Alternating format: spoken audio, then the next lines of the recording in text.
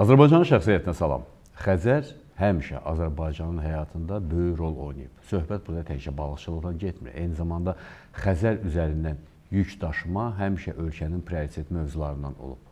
Sovet dövrlərindən yadımızdadır, Bakının limanında daim yük gəmiləri gəlirdi, bərələr gəlirdi, yüklərini boşaldırdı, yüklərini götürürdü, gedirdi və uzun müddət ki bunu görmürük. Səbəb çox sadədir. Azərbaycanın inkişaf planında eyni zamanda həmin o limanın Ələtə köçürülməsi var. Köçürüldü və Ələt istiqamətində bu dəqiqə həmin liman çox böyük uğurla işləyir. Belə deməyə də əsaslarım var. İş orasındadır ki, son 30 ildə Azərbaycan Xəzər üzərindən iri həcmli yüklərin daşınmasında rekorda imza atıb və söhbət təkcə bundan getmir. Gələcəkdə bizim liman Azərbaycana hansı xeyri verə bilər? Bu istiqamətdə danışmaq niyyətimiz var.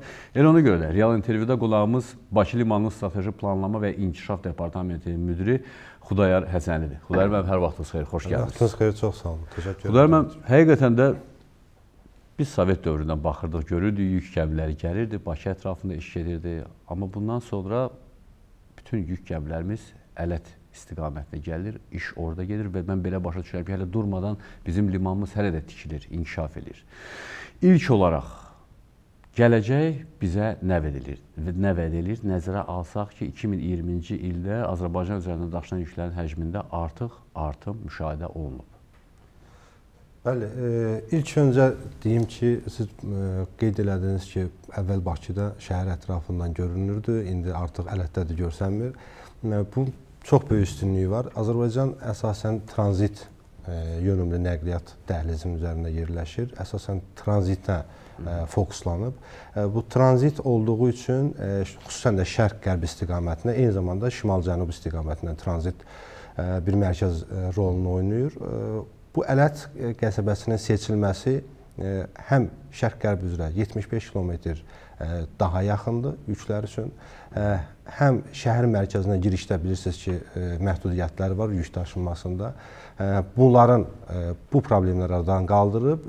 Üçüncü daha texniki tərəfləri var. Bilirsiniz ki, limanlarda ən böyük xərc aparan dalğa qaytaranların tikilməsidir. Orada təbii bir dalğa qaytaran var. Ada, Gil adası orada təbii dalğa qaytaran funksiyasını yerinə yetirir və ona görə də seçim olaraq, yer olaraq, məkan olaraq çox uğurlu bir mərkəzdə seçilib və limanın yük aşırma qabiliyyəti ümumi olaraq deyək 15 milyon tondur və bu müxtəlif istiqamətlər, yüklər üzrə də müxtəlif göstəricilər var. Bərə üzrə 6.2 milyon ton, Roro daşımaları üzrə 60 min tır və ya 1.8 milyon ton, quru yük üzrə 7 milyon ton. Bu cəmli ümumilikdə 15 milyon ton yük aşırma qabiliyyətində bir limandır. Bizim e, müqayisəni gətirdikdə e, 2000 son 5-6 ilin müqayisəsini verək ki, bu trendi e, görə bilək. Yəni trend nədən ibarətdir? Biz e, hansı müşahidəni aparırıq, hansı yüklərdə? E, deməli 2015 e, və 2020-ci illərin müqayisəsində e, yük aşırma həcmi 58%-dən çox 60%-ə yaxın artıb. Yəni 3,1 milyondan 4,8 milyon, 4,9 milyona yaxın yük aşırılıb bu artım tempi var. Və e, burada təbii ki, bəzi yük tiplərində azalmalar, bəzilərində artmalar və e, artımların həddən artıq çox olması istiqaməti var ki, o azalmaları kompensasiya eləyir. E, və Azərbaycan bu tranzit məsələsində son dövrlərdə hansı inkişafa nail olur və nəyə inteqrasiya edir? Bilirsiniz ki, dünyada logistika sahəsində yük daşımalar ən çox konteynerlər aparılır. Hə. Konteynerləşmiş yüklərə e, üstünlük verilir. Konteynerləşmiş yüklər e, əsas prioritet budur daşımada. Bunun e, konteynerlərin böyük üstünlüyü var. Həm anbar funksiyasını yerinə yetirir, həm təhlükəsizdir, həm insan faktoru yoxdur, həm də ekoloji təmizdir. Hı -hı. Həm yaşıl təchizat zənciri bilirsiniz ki, Bakı limanı da ekoport sertifikatını artıq alıb. Regionda ilk ekoport sertifikatı. Avropada da bunu bəlli sayda 24 30 arası bir e, liman var ki, ekoport sertifikatını almış. İndi biz birinci səviyyəsini ekoport sertifikatından da təmin olmuşuq.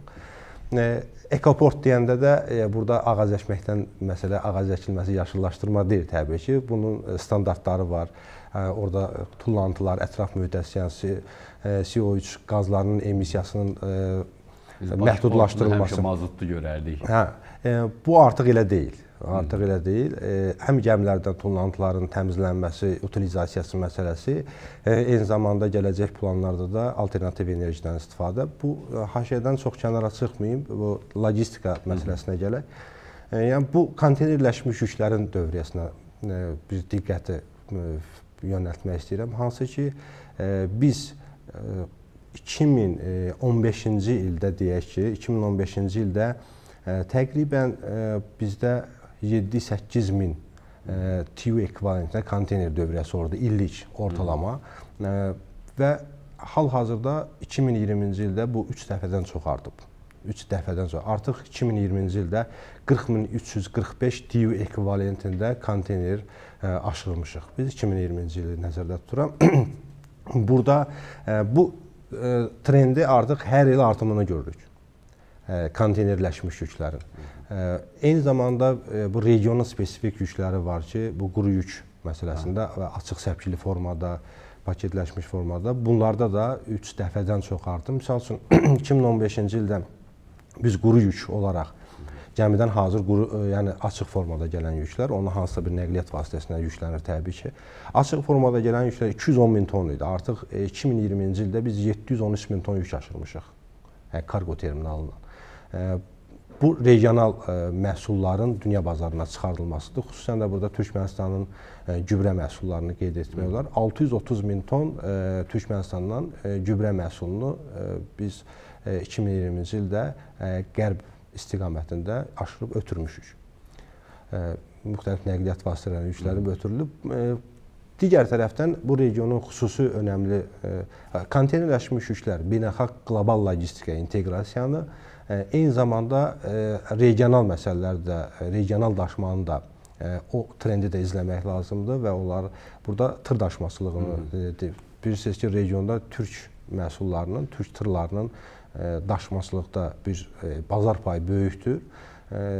İllik 60-70 min tır yüklənib Türkiyədən Orta Asiya istiqamətində yola salınır. Amma biz 2015-ci ildə 2015-ci ildə müqayisədə 2020-ci ildə yenə tırların artımında 5 dəfə artım müqayisə müşahidə edirik ki, 5 dəfə say olaraq artıb. Artıq 43 e, minin üzərində 2020-ci ildə 43 mindən çox tır dövriyyəmiz olmuşdur. Yəni tırların Bakı limanından hərəkəti həm şərq istiqamətinə, həm də geri qərb istiqamətinə hərəkəti müşahidə etmişdi. Bu yəni limanın mövqeyinin detallarını dedim və gəlir regional bir hub konsepsiyası məsələsinə, yəni mərkəzə, qovşağa çevrilməsinə. Burada trendi izlədik. Trendi izlədikdə artım var və e, dəfələrlə artım var. E, faizlə deyil artıq, bəzi yüklərdə dəfələrlə artım var və bu dəfələrlə artımın e, təbii ki, bir e, maksimal həddi var ki, orada dayana bilər. Onu dayanmaması üçün və biz nə etməliyik? Bir, e, bir baza infrastrukturu var. E, hansı ki, artıq e, dövlət layihəsi çərçivəsində bir liman baza infrastrukturu hazırlanıb. Mənə nə maraqlıdır? Danışırsınız, mən rəqəmlərin hamısına diqqətlə fikir verirəm. Arta-arta gedirik. Yəni dediyiniz kimi hansısa bir hədd var. Amma şurasındadır ki, məhz müharibədə qalib gəlməyimiz yük daşımalara da müsbət təsir göstərir. Söhbət Zəngəzur dəhlizindən gedir və bəlli məsələdir ki, Bakıya gələn Orta və Şərqi Asiyadan gələn yüklər başqa alternativ yollarla Avropaya, Türkiyə və s. ölkələrə gedir, səhv eləmirəmsə. Əgər ə, e, Zəngəzur dəhlizini də biz açırıqsa, bu yolu dəfə dəfələr deməz amma bir xeyli qısaltmış oluruq. Və bunun müqabilində belə çıxır ki, Orta və Şərqi Asiyadan gələn yüklərin həcmi də arta bilər. Düz Bəli. fikirləşirəm yoxsa necə? Elədir. Oradan e, yəni bizim fikirləşməyəcəyimiz qədər e, bizim logistik dəhlizimizə böyük üstünlüyü var. Hı -hı. Hətta təsəvvür etməyəcəyimiz qədər. Niyə?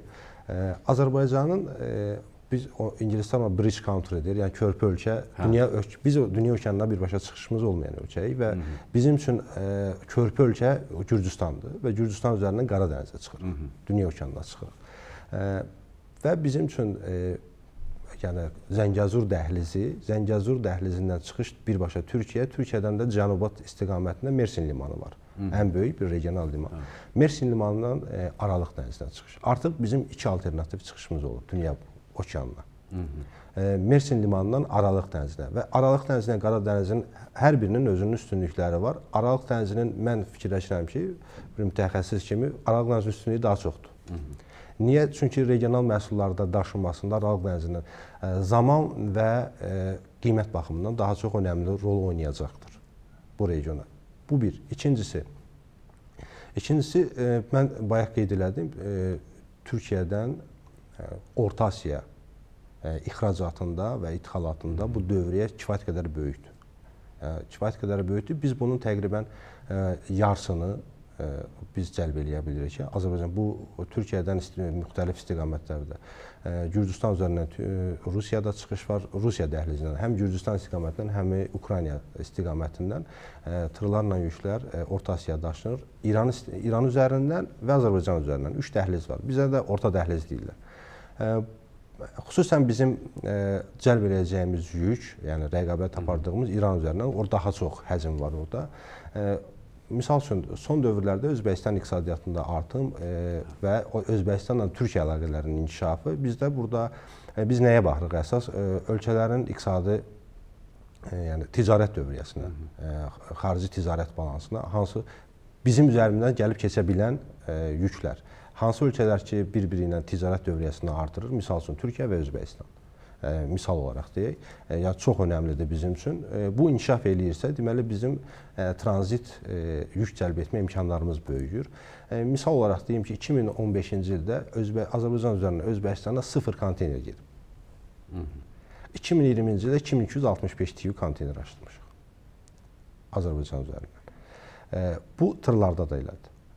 Bu tırlarda da dəfələrlə 0 tır olub və deməli 2020-ci ildə 9286 e, tır Azərbaycan üzərindən Özbəkistana gedib. Yəni artıq Özbək bazarı e, istiqam. Amma bu o demək deyil ki, biz gözləməliyik, amma bu İran üzərindən də gedə bilər. Burada e, və dediyiniz e, Zəngəzur dəhlizinin çox böyük önəmi var ki, bu dəhlizdən istifadə eləyir Orta Asiya Türkmənistan, Özbəkistan, Qırğızistan, hətta Əfqanistandan gedən yüklər buradan gəlsin, keçsin. Və o bizi görməyən yüklər var ki, ta, ənənəvi olaraq İran üzərindən gedib onları zərb eləyə bilər. Biz infrastruktur, bayaq qeyd elədim, liman infrastrukturu yarandı. Amma bu belə bir e, dünyada belə bir e, tendensiyalar, tendensiya deməyək, yəni bu praktik nöqteyi nəzərdən e, infrastruktur var, bir də super infrastruktur deyirlər. E, infrastruktur bazadır. E, yaradıldıq və onun üzərində bir e, modernizasiya və super infrastruktur ilə avadanlıqlar, texnologiya, e, rəqəmsallaşdırma, avtomatlaşdırma bu məsələlər biz bu Zəngəzur dəhlizindən tutaq ki, baza infrastrukturu, yəni təbii ki, dövlət onu yaradacaq. Yerdə qalan məsələ mütəxəssislərin üzərinə düşür ki, orada logistik həllər fikirləşilməlidir ki, logistik həllərlə Orada onlarla variant var yüklərin daşımaq. Onlarla müxtəlif variantlarda yük daşımaq. Yük variantları var ki, daşınılması. Onların ən optimalını seçib tətbiq etmək lazımdır ki, bu yük bizi üzərimizdən yan keçməsin. Hə. Bu logistik həlləri, həlləri mütəxəssislər tərəfindən oturub işlənilib hazırlanması lazımdır ki, o dəhlizin böyük önəmi olsun. O dəhliz təkcə Türkiyə, Orta Asiya məsələsi deyil.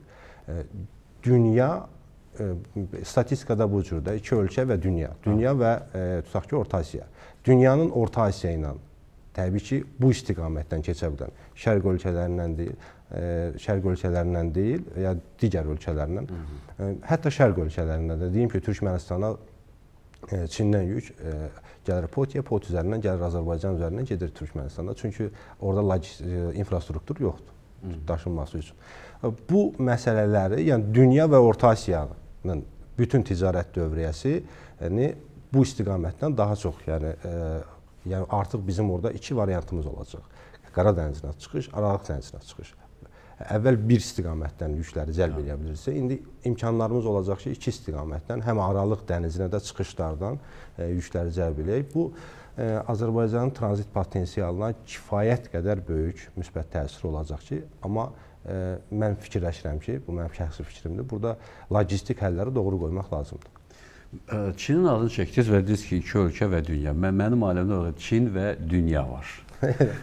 Çünki Çin bəlli məsələdir ki, bütün dünya üçün məhsulları hazırlayır, göndərir və avtomatik olaraq belə düşündük ki, Çin dəniz və okeanlarla da Avropaya çıxışı var, bəli bizdən də çıxışı var, amma hər halda Çinin durmadan bütün Avropanı, bütün dünyanın təmin eləməsi eyni zamanda bizdən də yan keçməməlidir. Həmin o Çin bazarının, Çin bazarının məhsullarının Azərbaycandan, bizim limandan gəlib keçməsinə hansı imkanlar var? Mən Çin məsələsinə e, keçəcəm, amma bir şey e, əlavə qeyd edeyim e, Zəngəzur dəhlizi ilə bağlı. Sovet hökumətində e, deməli Sovet hökuməti vaxtı Culfadan e, Yaxın Şərq, İran e, və həmin Zəngəzur dəhlizindən istifadə edərək e, təqribən illik 3 milyondan çox yük daşınırdı. 3 milyon tonna. Bu Sovet dövründə. E, günlük 150 qatar ortalama 150 vaqon yolasa oradan keçirdi yük olaraq. Hı -hı digər ölkələrə və eyni zamanda həm Orta Asiya, İran, Yaxın Şərqə də yəni dəmir yolları müəyyən istiqamətdə dövr idi. Dövr idi və eyni zamanda təsəvvür edin aylıq e, ortalama 270 min ton yük gedirdi. Zulfa görürdü bu yükü. Zulfa Zəngəzur bu istiqaməti görürdü. E, indi e, nə qədər böyük imkanlar olduğunu da indi təsəvvür etmək olar təsəvvür eləmək istəyirəm daha doğrusu. Hər halda nəzərə alsaq ki, bəli, indiki dövrdə nə qədər böyük imkanlar var. Düzdür, həmin dövrün logistikası və infrastrukturu ilə indiki dövrü fərqə qoymaq. Orada təkcə vaqon idi. Hə, yalnız vaqon. vaqon. Və indi qayıdaq. İndi Çinə qayıdaq. Hə. E, bilirsiniz ki, o TMTM layihəsi var, Trans e, Xəzər Beynəlxalq hə. Nəqliyyat Marşrutu layihəsi var. Bu e, benefisiar 3 ölkədir: Qazaxstan, Azərbaycan, Gürcüstan və buna digər ölkələrdə artıq bu assosiasiya yaradılıb, qoşulub. E, e, Türkiyədə burdadır, Ukraynada, Polşada, hətta Çinin də əməkdaşlığı var. Bu istiqamətdə quru, yəni dəniz yolu ənənəvi daşımadır və dəmir yolu ilə daşımalar var. Bunu Azərbaycan Azərbaycan üzrə operator Azərbaycan Dəmir Yolları ADE konteynerdir. Bu bu istiqamətdə Çindən gələn konteynerlərin cəlb olunması. Onun e, statistikasını deyim. Məsələn 2015-ci ildə ilk pilot layihə kimi 2 qatar olmuşdu. Hansı 83 daha doğrusu bir e, blok tren, e, blok qatar olmuşdu. E, 83 TU ekvivalentində konteyner daşınmışdı. Gəlib Azərbaycan üzərindən tranzit olaraq keçmişdi və bir hissəsi də e, ithal olaraq. E, artıq e, 2019-2020-ci illərdə bu 5500-6000 TU ekvivalentində burdan yüklər Çindən gəlib. Bu istiqamətdə də inkişafı biz izləyirik. Yəni bunun təbii ki, bu artan istiqamətdir. 5000, 6000 böyük rəqəm deyil, amma sıfırdan bura qalxmağı böyük bir böyük rəqəm sıçrayışdır və yaxın orta müddətli dövrdə kifayət qədər böyük artımını gözləyirik ki, bu Qazaxstan üzərindən dəmir yolu ilə Azərbaycana və qərb istiqamətinə artıq bir neçə blok qatar Türkiyədən Çinə, Siyan stansiyasına Çinin ixracı Türkiyəyə, Çinə Türkiyənin Çinə ixracı Azərbaycan üzərindən artıq 4-cü, 5-ci blok qatar yola salınıb Azərbaycan üzərindən. Artıq şərqdən qərbə deyil, qərbdən də şərqə qərbdən də şərqə blok qatar üzərindən e, quru yük, quru yolla, yəni dəmir yolu üzərindən və Azər Bakı limanından bu yüklər Bakı limanında mərkəz olaraq formula e, toplanır və gəmilərə yüklənərək şərq istiqamətinə, əks istiqamətdə gələn isə e, Bakı limanına gəlir, yüklər boşaldı. İdxal istiqamətini biz idxal e, Azərbaycana və qərb istiqamətinə gələn tranzit yükləri isə qərb e, istiqamətinə yükləyib yola salırıq. Deməli mən belə başa düşürəm ki, qısa, qısa da olsa istəyərdim o sualın cavabını alım, vaxt artıq sıxır. Məhz Zəngəzur dəhlizinin açılması bizi faktiki yük daşıyan ölkə kimi təqdim eləyə bilər dünyaya? Biz artıq bir tranzit ölkəyə çevrilmişik, bir mərkəzə çevrilmə istiqamətində gedirik. Artıq çevrin, bunun bir böyümə məsələsi var. O dəhliz buna çox böyük təsir eləyəcək ki, biz böyük bir haba çevrilək, bir qovşağa çevrilək. Eyni zamanda mən fikir fikirləşirəm ki, biz təkcə tranzitdən yox, tranzitdən əlavə dəyər də yaradaq. Gələcəkdə bunlar bu planlarda var ki, tranzitə əlavə dəyər yaratmaqla Mənim bir şəxsi hesablamamdır. Bu təqribən 1 milyon ton yükün əlavə artırımı 35-40 milyon dollar ölkəyə xeyir gətirir.